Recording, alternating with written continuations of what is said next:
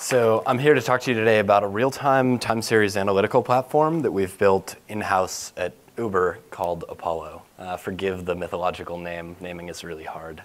Uh, a little bit about my background. So I've spent almost three years at Uber, um, all of that time on the data engineering team. My first year at Uber uh, built out the predecessor to the system that I'm here to talk to you about today, and then the past two years building and shipping this system.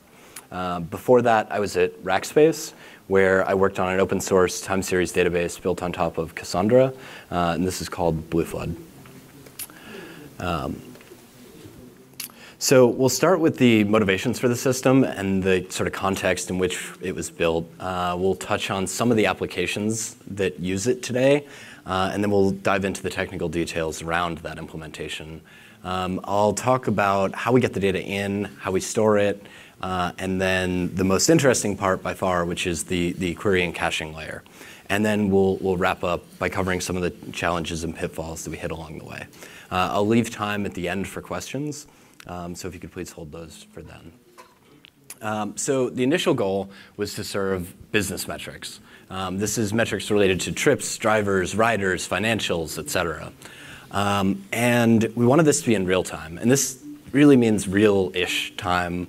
Um, it mean, real time means different things for business metrics than for system metrics, at least for our business. Um, think about it this way. An example of an actionable metric could be something like surge being high in some physical area. And the, the action that you might take in response to that would be to, to physically reposition supply in the real world. And to do that, your, your sort of response time is going to be on the order of minutes, not seconds, like it could potentially be for like system metrics. Um, so that allows our ingest latencies to be a little bit more lenient. So at this point, we're running with a P99 uh, ingest latency somewhere between one and a half seconds on the lower end of, of, of sources and three minutes uh, on the higher end. And this depends on the ingestion source. Um, the second key, key point is time series aggregates. So we aren't storing the entire history of all time worth of data. You know, for that, there's other systems that exist. Our, this is just for business metrics, and most of those have really strong seasonality components and are looked at in that context. You know, for example, weekday morning commutes have very different marketplace dynamics than, let's say, you know, Friday nights downtown. Um, we aren't an online store or a source of truth, but a source for aggregated data. Um, you know, an example query of this form would be like hourly count of trips in San Francisco. Um, and the whole system was designed and optimized for aggregated data, not individual records of any sort. Um, the third key point here is, is, geospatial. So we are a distributed business operating across the physical world, um, and we need to be able to provide granular geospatial slicing and dicing of that data to help analysts understand you know, various marketplace properties of some geotemporal segment of data. Um, you know, knowing that somewhere in San Francisco that, that the unfulfilled rate of requests went up at a particular point in time is not useful as compared to understanding that for example, AT&T Stadium, you know, when some sports game let out, then there was a, a sort of spike, um, you know, associated with that increase in demand. Um, so what, what is Apollo? Um, you know, Apollo is real-time analytics platform, and, and, let's talk a little bit about its properties. So we store only recent data. Uh, for us, that's about seven weeks worth. We have low latency on ingestion on the order of seconds to minutes between data being logged and that data being available for query. Uh, we support ad hoc exploration of data, arbitrary drill down, including geospatial filtering and, and geospatial dimensioning of our data. Uh, another key property is deduplication. So we use Kafka pretty heavily at Uber. Um, and our Kafka deployment, we, we end up getting a at least once delivery guarantee from. But one of the flaws in the, the existing system that we replaced with Apollo was that it would double count in a lot of scenarios involving timeouts or hardware software failures. Um, and we needed to be able to assert that a uniquely identifiable record exists exactly once and would not be double counted um, with, with this system. Uh, and we do all of this at, at, pretty low latency to the end user. Uh, we'll cover stats at the end, but we operate with sub-second P99 and sub-100 millisecond P95 on, on, the queries that we serve in production today. Um, okay, so let's, let's talk about how it's used. I'll, I'll talk about one example from each of three sort of different classes of front-end applications using Apollo today. Um, so here is an example of a internal dashboarding tool. Um, here's one that's used relatively broadly internally. Um, it's used by a large portion of our operational team daily and gives a number of metrics across a configurable duration of time and set of filters and provides seasonality comparisons. Um, you know, whenever, when all of the metrics are fully expanded, it's querying for about 40 to 50 metrics on page load. Uh, and we have to be able to support that you know, without a user sort of changing tabs or context switching. So it has to be near instant page load times for that. Uh, this is sort of a ad hoc drill down um, query front end. Um, so this allows you to configure, save, store, and execute queries that are compatible with our custom query language. And I'll, I'll, talk more about this later, and we'll actually revisit this slide. But this covers that, that sort of data exploration use case. Uh, and then we've also powered a number of like shorter-lived sort of vanity tools for events like New Year's. Um, you know, here we showed a globe-based heat map of trips happening in real time on, on New Year's Eve. Um, okay, so before we dive into the technical implementation, let's cover some of the requirements that defined the decision-making process around our, our implementation. Um, since we're dealing with time series aggregates, we need to pick some timestamp attribute on the data to use for all of our bucketed aggregations. And we, we have the requirement that we support a timestamp that does not have strong ordering with respect to its arrival time. So an example of this is using the point in time that a trip was requested at for its, its bucketed aggregations rather than the time that the trip was completed at. But we don't have all the information about a trip until it is complete, so we end up with out of order arrival with respect to data timestamp. Um, also, that trip needs to remain mutable. Uh, for example, people commonly rate their last driver whenever they take their next trip, which could be you know, days or weeks later. Um, the second key, key point is to have sublinear performance impact of scaling the, the queries per second.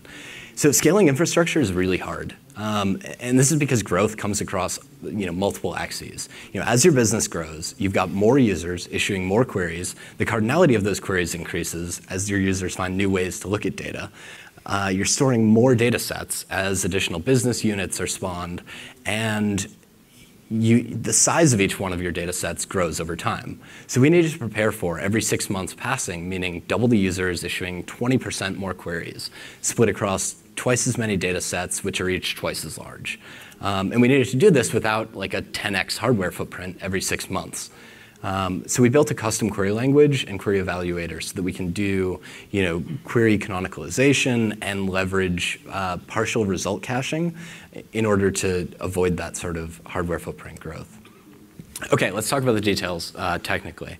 I'll dive into each one of these components, but here's the high-level mapping of all the components involved. At the top, we've got ingestion. We run streaming ingestion from Kafka, batch backfills from Hive using Oozie scheduled Spark jobs. We write that data into MemSQL, an in-memory SQL database. Um, beyond ingestion, we've got two services that talk to MemSQL. One is a query layer, and the other can be thought of as a sort of uh, like distributed cron tab for database operations. It does things like ex expiration of data, denormalization, collection and reporting of metadata, et cetera. So this diagram can be thought of as a view of a single data center.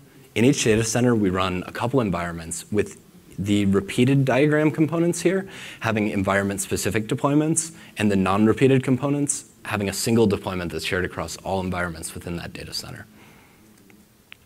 So we run five, well, more than five, but this illustrates the approach we're, we're sort of in the process of migrating towards. Um, you know, we run in multiple data centers for redundancy, you know, in case there's a natural disaster or some other data center level failure scenario. And in each, we run a, a production prime environment. And this contains customers with larger data sets um, that require more storage. And we've also got a, a, a, smaller cluster in each for customers with lower storage requirements um, as well as a staging slash pre-production environment.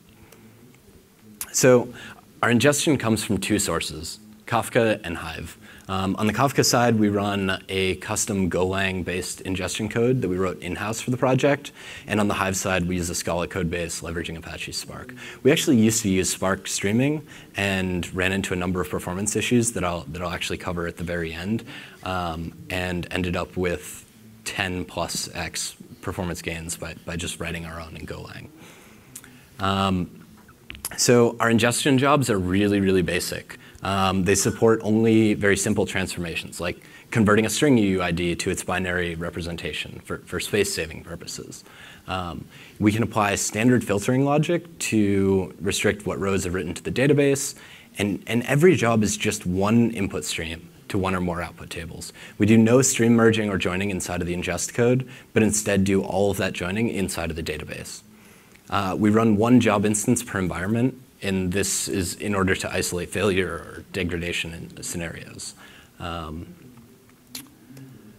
so here's a copy of what the ingestion logic would look like in terms of pseudocode. For each output table a given job has, we apply the filters for that table, map some transformations to each row, batch up those rows, and write them to a database. Super simple.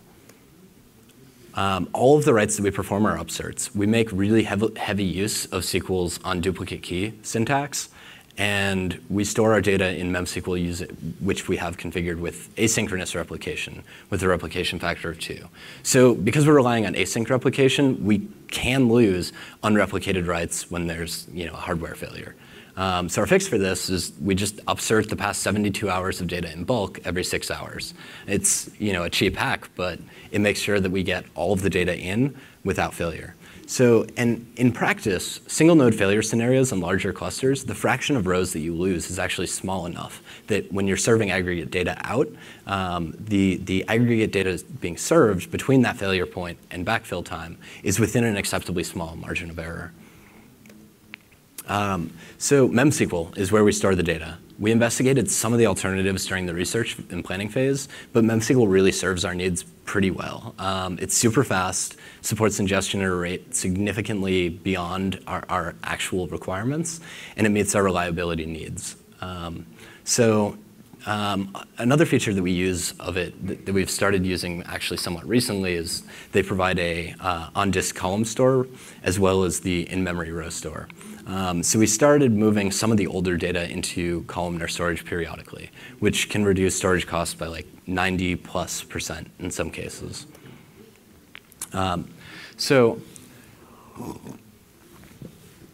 our, our caching layer uh, stores partial result sets inside of sharded MySQLs. Um, you know, the goal here is to just reduce redundant, wasteful work. Uh, if a user comes along and asks, okay, what's the, the, the number of trips that happened in the past week broken down by hour?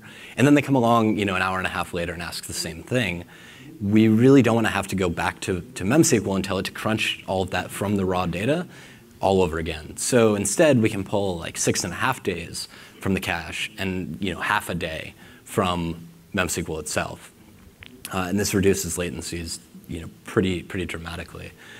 Um, okay, so let's, let's talk about how the actual query language and, and caching component work. Um, we'll start with the query language. So we built this, this custom meta language to be used as, as the point of interaction with the system, and we call it Apollo Query Language, or AQL. Um, it's an analytical time series query language. So it'll become more clear exactly what that means as we cover examples. Um, some of the goals influencing the design were, were, for it to have a similar degree of flexibility and expressivity as, as, as SQL itself. Um, but we really didn't want to provide raw SQL access to our, our users. Um, it's really hard to trust users to write good SQL, and there's a lot of issues that can come out of providing raw, unfettered SQL access. And I'll, I'll cover some examples of both of those in, in a few slides. Um, we want it to be really easy to use and for there to be like really low learning curve for someone who already knows SQL. Um, so we support SQL expressions within, within the format, and we also support concepts like joins that, that you know, people are familiar with. Um, and so for our caching layer to be really effective, we need to be able to canonicalize queries. For example, count one and count star are semantically uh, you know, identical. Um, a, a, join condition of where foo equals bar versus where bar equals foo, or that foo not equal true and not foo, you know, are, are some of the, the sort of examples of canonicalization that we're, we're able to provide. Um, so in order to do that, though, we need to be able to parse from the input format into some intermediate format and then generate SQL from that. So by structuring AQL to be as close to that, that intermediate format as possible, we eliminate a lot of the, the potential complexity from the implementation that we would have had to deal with if, if we had made, let's say, SQL itself be the input format. Um, so one of the other features of AQL is the way that we perform validation of query semantics beyond what is typically offered by raw SQL. Um, so by storing some amount of semantic metadata in the query layer, so things like cardinality information, we can reject queries that would, you know, for example, attempt to join multiple tables on incompatible values or have an extremely high cardinality group by, um, things like that. Um, and we, we also wanted to be able to support automatic optimizations. So I'll, I'll cover those in a few slides. Let's, let's talk about an example. Um, so I guess it's sort of hard to read, um, but here is an example AQL query. So at the top, we've got the base table. Um, we've got support for joins, dimensions, measures, filters, time filtering, and time zone information. Joins are, are just specified in terms of a table name and a join condition. Dimensions, which are essentially you know, a, a, group by statement in SQL, are defined in terms of the, the basic case as the, just the SQL expression which composes it. Uh, we have support for also time-based and numeric bucketizers like histograms. Um, in this particular example, we just have a time-based bucketing applied, where the user has, has requested time to be bucketed by day and returned in terms of a millisecond since epoch value. Uh, measures are the values that the user is, is interested in and, and are defined in terms of SQL expressions and optional filters that may apply only to that particular measure, which is useful for cases where a user might want multiple measures uh, that have different filters and do some sort of aggregation like dividing those two numbers by one another. Um, row filters are applied across all of the measures. Uh, in this case, we're filtering the base table and we're filtering the join table. Um, in this particular example. Uh, the time filter lets users specify in a natural language format the, the range of time that they're interested in. And we also support time zones. So here is the, uh, the query builder slide again. Um, and, and, so rather than forcing users to write out queries like that by hand, we built this web UI for it. Um, and as you can see, the form is structured pretty similarly to, to our previous example query. Um, Okay, let's talk about some of the, the pitfalls of SQL that AQL has attempted to avoid. Um, okay, so datetime handling is really obnoxious in SQL. Uh, by making time series aggregation a first-class concept, we can do a little bit better. So using the time dimension configuration from our previous example, the user specified that they want their aggregated data bucketed by a field called request_at into one-day buckets they want those day buckets aligned to the America Los Angeles time zone, and they want the final result to render the time values as, as numeric integers representing number of milliseconds since epoch at, at which each day bucket began. So let's look at what this would look like in SQL. So in SQL, we end up um, snapping the timestamps to the nearest 15 minute using modular arithmetic. And I'll get into exactly why we do this in, in a, a, slide. Um, then we convert from milliseconds to seconds. Then uh, convert from Unix timestamp into a SQL date time.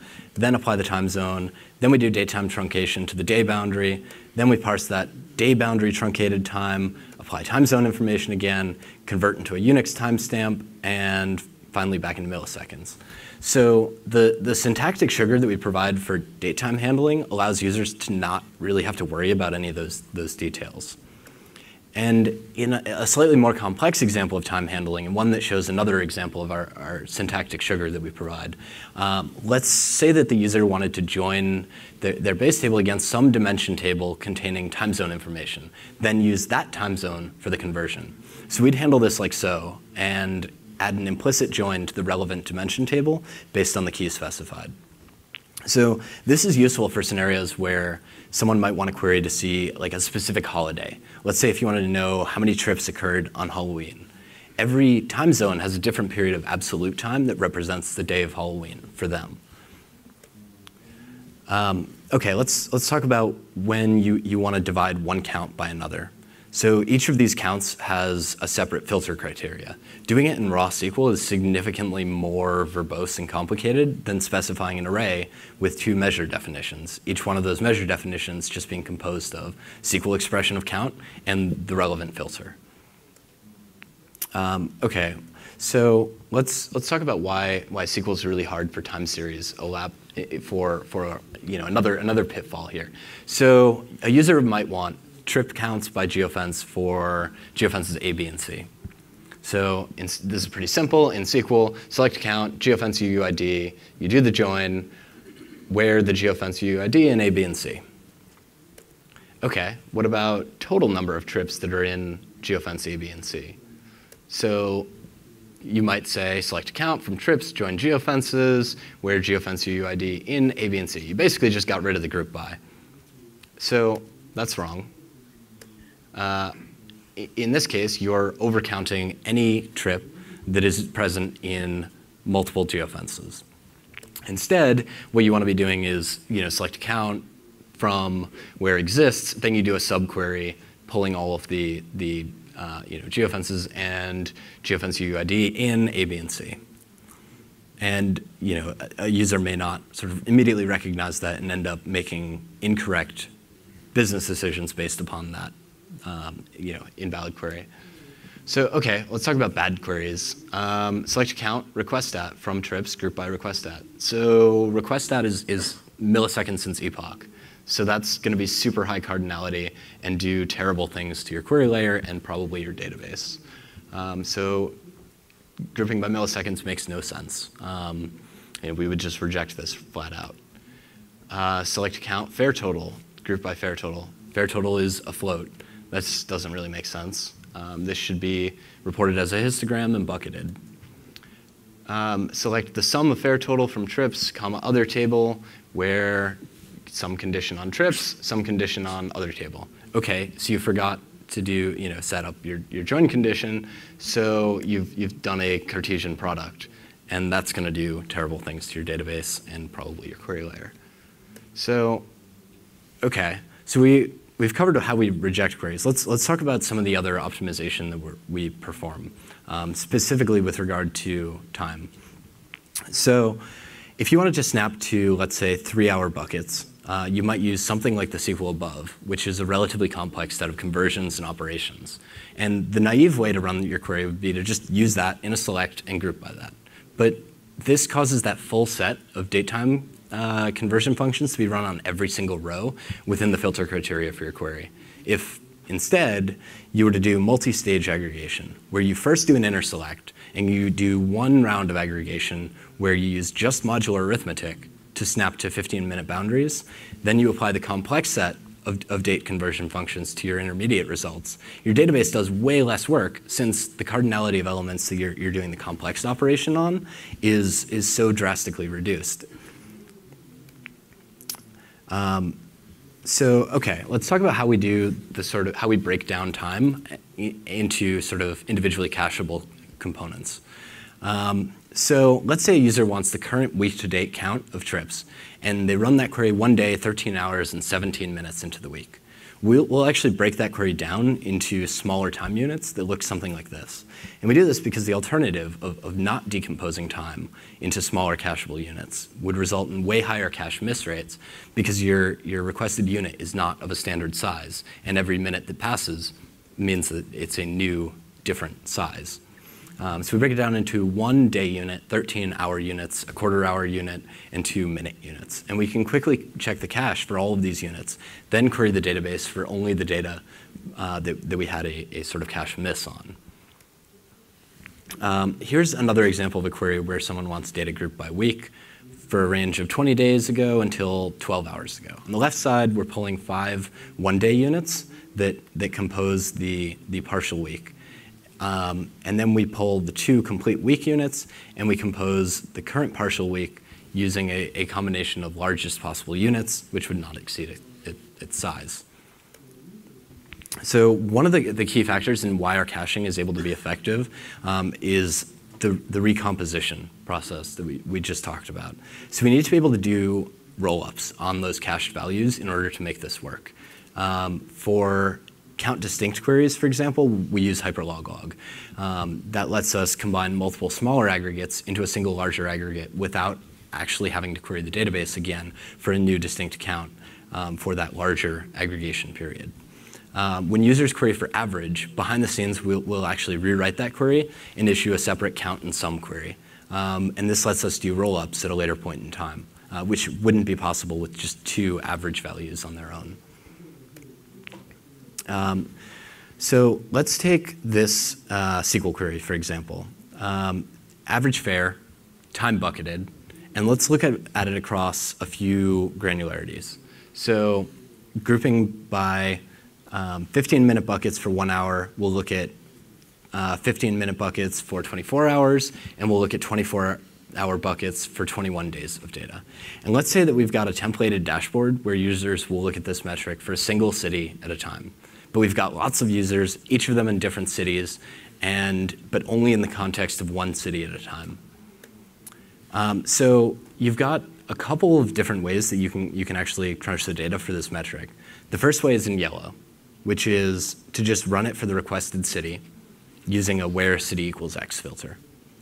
In red, we see the, the total execution time if we were to run in serial that yellow query for all of the cities. And in blue is the alternative, which is to move city from a filter to a group by. And the numbers are, are slightly uh, adjusted for the presentation, but are representative of actual test results um, when we were building the system. So timing information doesn't tell you the complete story when it comes to actual utilization of, of computational resources, but it's a decent proxy in cases where you know, the, the shape of, of the, the actual resource utilization doesn't drastically change between queries. You know, for example, you aren't running one query that's disk bound, another query that's network bound, and another one that's, that's storage bound. Um, but instead, all of your queries are using sort of the same, the same resources. Um, so since we do our, our storage and most of our heavy lifting with the with the database, and the database resources are our primary latency bottleneck, let's just sort of think of utilization in terms of time spent running queries versus total time. Um, you know, thinking about it that, the takeaway is that it's, it's better in terms of our, our total cluster utilization to run a group by city and serve many users uh, rather than running one where city equals X query per user city. Um, and as you can see, looking at the table from left to right, the break-even point changes depending on the time frame being queried and the granularity of, of time series aggregates. So, you know, our, our, the sort of takeaway for us was that if, let's say that we had a, a cache miss for one city, and we knew that that query pattern is common enough that we're, we're going to probably see that, that same time range, but parameterized for a different city, um, we, we can do some optimization there. So we would run the, the user's query as initially par parameterized, and then just to give them the lowest latency possible in their response, then asynchronously we kick off another query that, that does a group by and fills in the cache for that metric at that particular time range and granularity. So let's do some quick math here. You know, at this point, you've spent 250 milliseconds between one execution of the yellow query and one asynchronous execution of the blue query if you end up getting a cache hit for four other cities during this time range and granularity, you've broken even on, on that sort of bet of, of doing that, um, that second query. So, and if you get more than four, you've actually come out ahead in terms of, of total utilization. So one other related property that I'll get into is the case where you're pulling multiple metrics from the same set of rows. For example, count of trips, sum of fares, average fare, average ETA. Um, you know, the first thing is that you're better off querying for all of those things at once with a single query rather than running a separate query for each. You know, this probably seems pretty obvious, but there's there's plenty of cases in the real world where your users are actually going to do suboptimal things just for simplicity of integration. You know, like uh, think about a dashboarding application. Your your sort of naive implementation would be to issue a query per displayed metric. You know, treating each metric as a discrete independent unit. And it's not super realistic to expect the developers of, of, that dashboarding application to build some complex query batching and rewriting component that figures out the ideal combination and restructuring of those requests. So the second optimization in, the, in, this particular example is by rewriting average into sum and count, we can then you know, process that average calculation server side um, which lets us completely remove the average calculation from, from what we're sending to the database. So we took these, these sort of concepts and found the most common query patterns that, that users were actually using. And we had a pretty basic heuristic for it initially, but there's some really interesting things we're actually working on now for automatic detection of these, these common patterns. Um, and we set up a system that would periodically run through those queries at various combinations of granularity and dimensions uh, in order to sort of pre-fill the cache. One of the first issues we ran into with with this this sort of contract runner, as we called it, once we started adding the most common query patterns, was just the sort of combinatorial explosion of dimensional combinations. So assuming users can filter a metric across just three dimensions, uh, you know, that becomes eight possible query combinations, including the null set. So we also needed to be able to provide data at variable geographic resolution. So if you take those eight combinations, four of them have a city, and we let's say that we have seven scopes of geographical resolution um, sort of listed at the bottom. So multiply four that had a city times seven, and you get 28. Add the four from the non-city dimensions, and all of a sudden, we're at 32 queries. So let's say that we also wanted to do it across four different time granularities: uh, quarter hour, hour, daily, weekly. So multiply by four again, and you're at 128 queries you'd have to run to populate that the cache. So we we then decided to just implement rollups into the the contract runner itself um, so that we could just run one query with everything moved into group bys and then do all of that work in in sort of the the um, you know processor server side um, outside of the database to generate the the sort of 128 query result sets. Um, so this let us sort of cross out all of these things from what we're actually querying the database for. Um, OK, so let's let's cover stats real quick. Um, so at this point, our P80 is sub 10 milliseconds, P90 sub 50. I mean, you, you can read the rest. We're doing millions of queries a day. Uh, since sort of the system has come online, we've served about 250,000 distinct queries. Um, and billions of, we're doing billions of MySQL writes per day at this point. Um, so some of the things that we're working on next would be self-service onboarding, schema management. Um, it turns out like the the sort of operational burden of a system like this is is one of the the larger costs. Um, so schema change management and automation, uh, once you're running like five to 10 different environments, it becomes a huge pain in the ass to manage schema changes across all of them. Um, and we also want to build out sort of cost accounting so we can understand what users are actually you know, costing large amounts of computational or or storage um, resource utilization, uh, automation around contracts so that we can detect what queries are run often enough that it's worth pre-filling the cache versus not, um, and better query cost estimation for rejecting um, sort of bad queries. So we're running a little low on time, and I want to leave some time for questions. So I'll sort of skim through some of the challenges. Um, we had a lot of challenges around schema because we're we're managing like five different schemas, uh, one for sort of the, the Hive schema, then the transformations on top of that, the Avro-encoded Kafka schema, transformations on top of that, Uh, the memSQL schema, which is like a SQL DDL statement, the query layer schema, which is like the semantic metadata that we use for rejecting queries, et cetera. Um, and what we ended up doing in the end was just generating one sort of meta schema file and then generating all of the separate schemas from that. And that way, at least we only have to edit one place, uh, and sort of all of the changes will be propagated across all representations of that schema. Um, you know, another thing that we did that Uh, was a huge performance gain for us was replacing Spark Streaming. Um, so for for our jobs, we were spending almost all of our CPU time on serialization and deserialization. And because of the way that we have multiple output destinations for a single input, Spark Streaming would either reread the source data from Kafka per output destination, um, and this is if we don't call .cache ever. Or if we do call .cache, it would spend all of its time serializing that data after read, then deserializing per output destination. And the best performance that we were actually able to achieve with it was to deserialize from Kafka into a struct containing the like the set union of fields used across all of those output tables. Apply any filters that are common across all of the output tables, then call cache on that collection. And even with that, we felt that there was like a ton of inefficiency, and I'll, I'll get into numbers in the next slide on exactly how much inefficiency, um, but lots of overhead from Spark and the JVM in this case. You know, one other issue that we had was the way batching works. So you read a micro batch at a time from Kafka, and this micro batch is composed of you know many many partitions. We'll call them like micro micro batches, and each one of those partitions has to fully complete its execution before any container can start working on a new unit of work.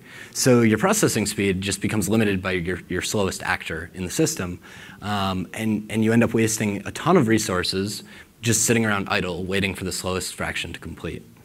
Um, yeah, let's see.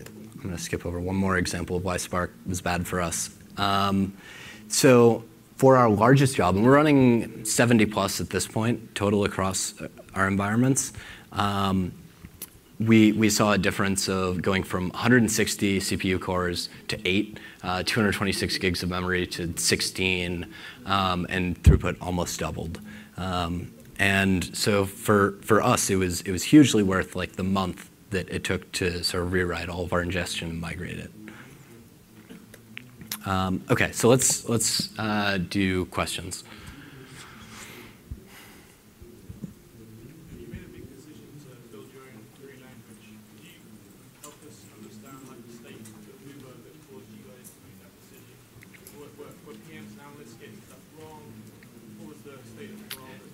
So the state of the world is that there there were other data tool. Uh, okay, um, the question was, what was the state of the world at Uber that caused you to decide to write your own query language? Um, so the state of the world was that there there were other existing tools that had allowed raw SQL access at one point in time, and those tools frequently had problems because of that. People would run, you know, examples of those those queries that I had done. I mean, I've, I've caused one of our internal databases to segfault before accidentally, you know, and this is being relied upon by thousands of people. Um, so we wanted to ensure quality of service for for everyone, um, and we wanted to actually do what was easiest for us, which was for for us to implement the caching that we wanted. Um, and do the sort of canonicalization, it's really hard to parse SQL into a sort of canonicalized intermediate format and then back out to SQL. But if we understood what we wanted that intermediate format to look like, and then just said, okay, this intermediate format, that's our query language, it makes it way less work for us as implementers of the system.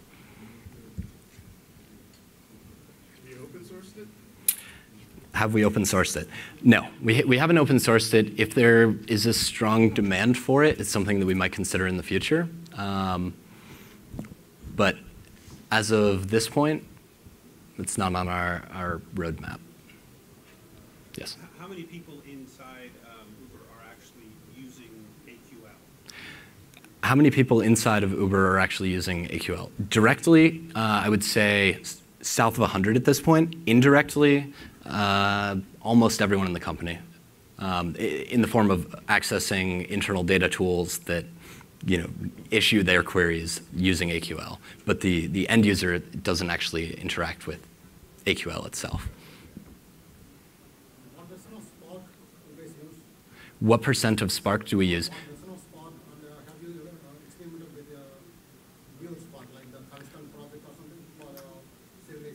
What, what version of Spark?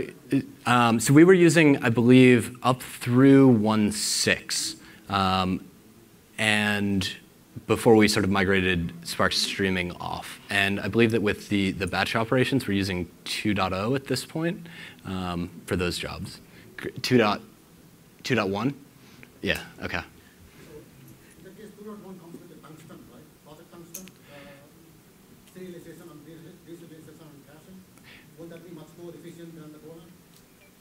Uh, the question is, wouldn't using Project Tungsten be much more efficient than the, the Golang? Uh, maybe. I mean, we would have to actually run tests, and at this point, you know, we have something that's that's working that we migrated onto because the existing solution wasn't. Um, and until the current solution we migrated to stops working, there's not a huge benefit to, for us to go try and go back and, and spend time testing that and tuning it. Um, there's just a lot of there's a lot of complexity around Spark. Um, you know, we've we've been bitten by, for example, the the locality, like how locality um, works around task assignment.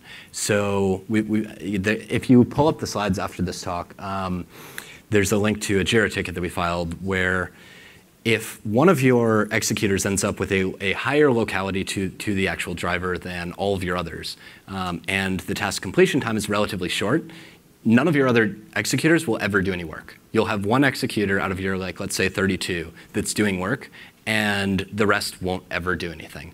And basically, the, that ticket has sort of just remained dormant, um, you know, sort of since, since we filed it.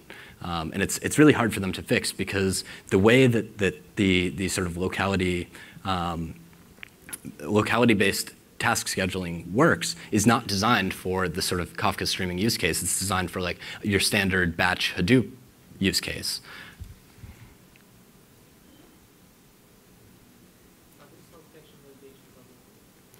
Can you repeat louder? How do we solve the cache invalidation problem? So we maintain a mapping of understanding how far back in time data actually gets modified um, for a given topic relative to, to, now. So let's say that like the P99 of like relative time um, for that, that a trip comes in at versus when it was requested at is like six, 16 hours. We make sure that we re recompute um, that relatively frequently. We also have some tooling for sort of understanding the relationship between a query pattern and the cache keys that compose it so that we can then delete things from the cache. Um, but it's something that we, that's hard and that we sort of want to uh, improve upon in the future. Did you run into any challenges with uh, network I.O. bottlenecks between components in the system? Did we run into any challenges with network I.O. Um, between components in the system? Yeah, so we tried out Amazon at one point and basically overloaded our pipe from Uber's data center to Amazon. Um, and so yes, um, without going into too much detail there. How many events throughout the day? How many, how many, rows in the data set? how many rows in the data set? Um, in the I would, uh, yeah, I mean, in the billions at this point. So those uh, stats of the queries when latency is like 50 milliseconds, 100 milliseconds, they scan like around billion events per query? So it, no, those don't. So the reason that we have such low latency for sort of sub P95 is because we're able to ensure like a 90, 90 ish percent full cache hit rate through the contract runner by understanding what queries are, are likely to be run and running them sort of ahead of time with, with group bys. Um, and the and then we have about a six to seven percent of partial hit rate, where it's queries that we haven't pre-run uh, the, the full thing for, but someone else has run it you know, recently enough that we didn't get a full miss, and then you're only querying for sort of like the recent tail on those. Uh, and then it's like a two-ish percent sort of full miss. We're done? Could hold the Okay. questions Okay. take those off. Thank you, everyone. So we need to set up for the next presenter, please.